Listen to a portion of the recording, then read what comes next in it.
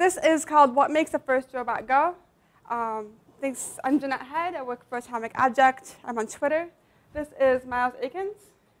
And down here we have Qbot.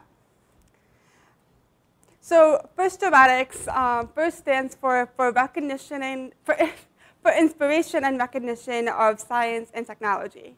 Um, so FIRST Robotics is a K-12 program starting with um, the little Lego robots um, for elementary schoolers and going up to these larger robots for high schoolers. Um, so teams or like schools will build robots and they will take them to competitions and compete them. Um, so the official blurb says that they are combining the excitement of sport with the vigors of science and technology and that it's the ultimate sport for the mind. Um, so there's a lot of roles and people that help make a first robot go. Um, so one of the adult roles is the role of mentors. Um, mentors is what the first program calls um, professionals in the community that volunteer their time to work with teams and help them build the robot. So I am a mentor um, for this team, and I mentor their programming electronics. We're, we're learning soldering, we're learning for loops, all sorts of really cool stuff. We're programming complex systems. Um, we also help fabricate, help engineer, help design.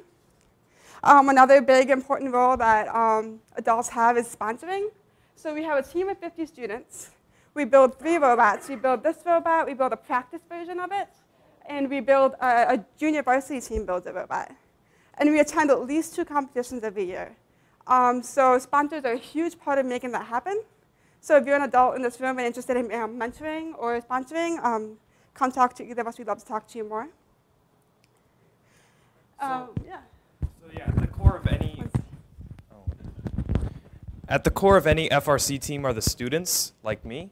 So students are the ones who design, fabricate, assemble, and program the robot for competition. Uh, we get a lot of help from professionals like Jeanette, but the robot is in no way mentor built. Um, students who participate in FRC are much more likely to go into uh, a field related to what they experienced on the team, such as electrical engineering or computer science.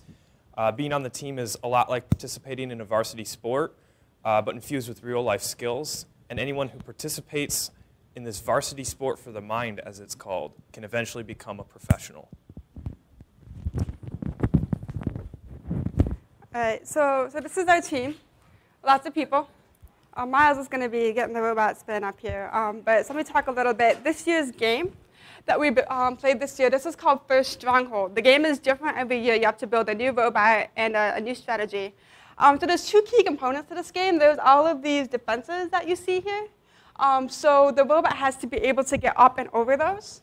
And then there's these towers and these boulders. So the robot also has to be able to score boulders in the towers. And it's a, it's a 3v3 match. There's a red team and a blue team, that's randomized. Um, each match, it's new.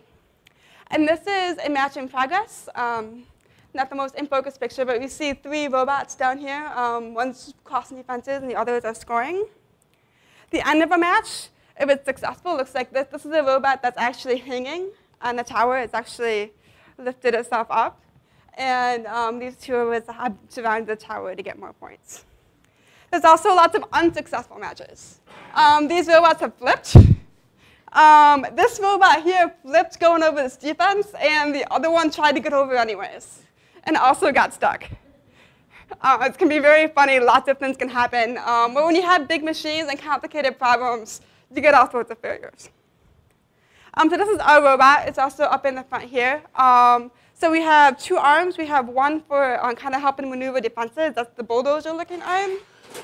And then in the back, we have a gatherer that helps um, gather balls and put them into a shooter, which you can kind of see um, the top here. There's more pictures.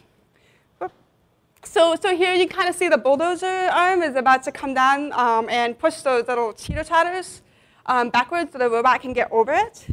Um, in the middle there is a shooter. That's where the ball is going to be coming out and we take a shot. All right, and so these are some of the tech specs. So we have a, a drive chain on here. We have four motors, and we have encoders and gyroscope sensors, so we can sense rotation as well as distance and velocity. Um, the gatherer arm also has four motors, two to lift and two to spin. Um, and that has a potentiometer that we can use to detect the angle at which the gatherer arm is at. Um, the defense arm um, with another two motors to lift it, and also an encoder that we use to do um, angle. We have PID control on all these. If you're familiar with that is, it helps us go to the angle we're trying to get to. Um, the shooter at the top here, um, which you can see really well in this picture, has two motors and it spins these wheels. And it uses its encoder to always be spinning at the same velocity when firing shots to get a consistent shot. Um, and a question I get a lot is that is the controller on this thing. It's called a RoboRio. It's by National Instruments. It's first provided hardware. And you thought this wasn't a JavaScript talk, but our driver display that Miles is looking at right now has a JavaScript and HTML powered display. And, and that's our robot. Do you want to?